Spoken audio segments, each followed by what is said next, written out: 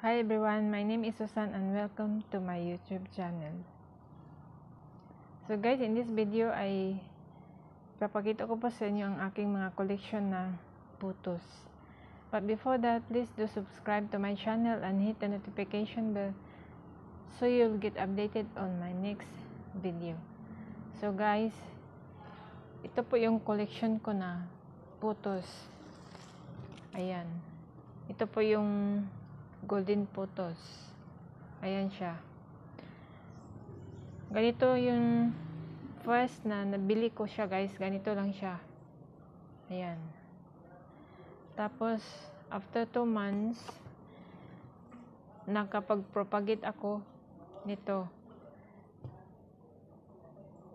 Ni- Pinopagate ko siya sa true water. Ganito guys. Ayan siya.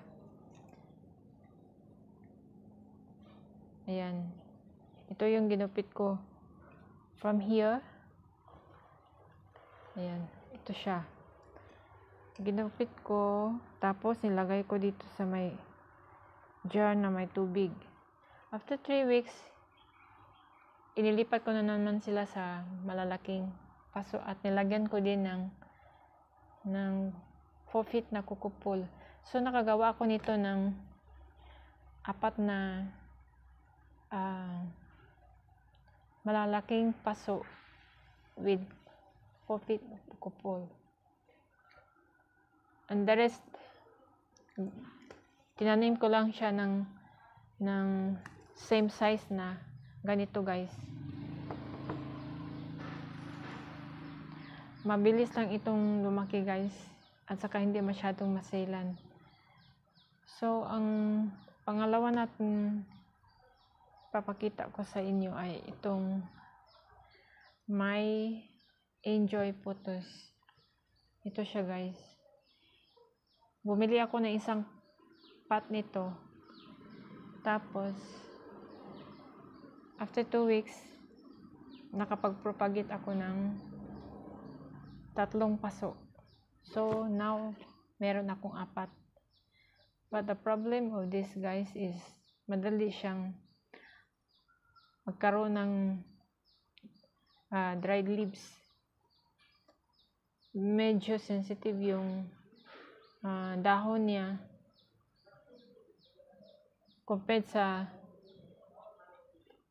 ah, golden photos. Yung itong golden photos guys is hindi masyadong mas masailan at saka mabilis mabilis ang tubo niya. Ito naman is medyo slow grower to siya guys. Ayan.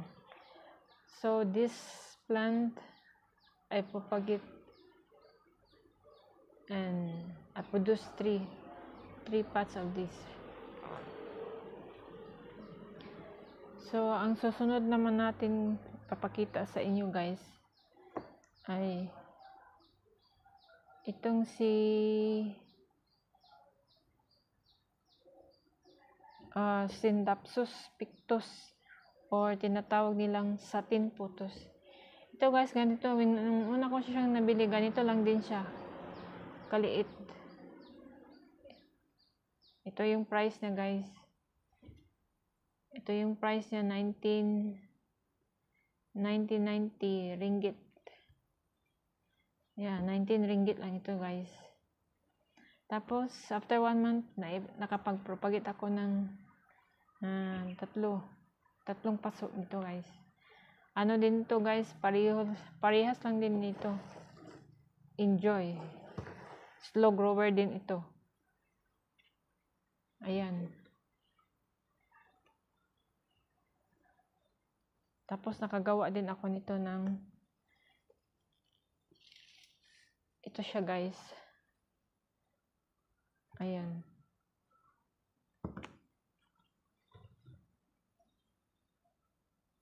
Ayan, ito yung napapagit ko. Nilagay ko siya sa 2 feet na kukupol. Ayan.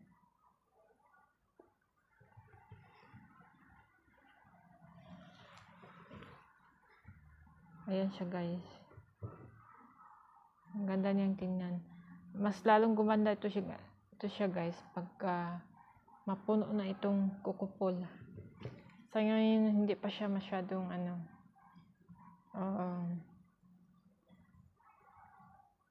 hindi pa siya masyadong lush. Tingnan. Eh, tingnan. So, ang last naman nating ipapakita sa inyo guys is itong neon photos. Ayan.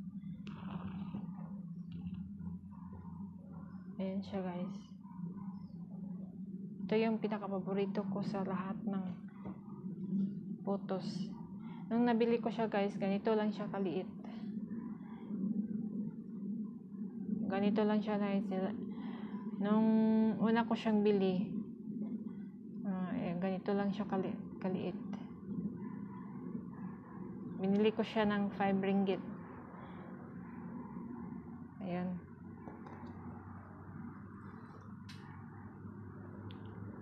Five ringgit. Ngayon, nakapag... Ito na yung propagation na guys. Nakagawa ako ng dalawa nito. Ayan. 2 feet. 2 feet itong kukupol guys. Ayan, ito yung pinaka-paborito kong kulay. Ang ganda kasi niya. At, at saka hindi siya hindi siya masyalan. Medyo ano lang ito guys. Slow grower ng compared to sa ikumpara mo sa golden putos. Medyo slow grower siya. Ayan.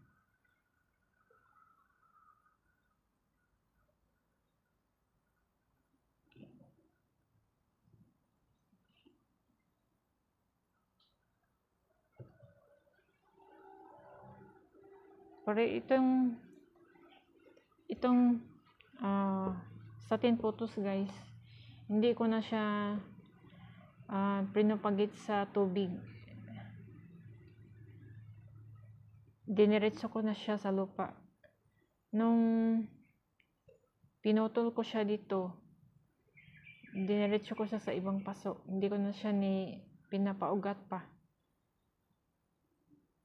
Kaya yan. Ito din si si Neon. Oh. Si Enjoy. Si Enjoy, diniretso ko na rin siya. Hindi ko na siya pinapagit sa water. Diniretso ko na siyang tinanim sa lupa. Ang pinapagit ko lang sa tubig ay yung itong golden photos lang. Pero itong neon photos guys, diretso na siya guys.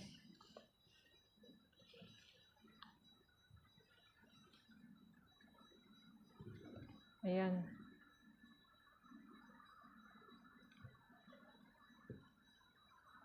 So it that's all for today guys.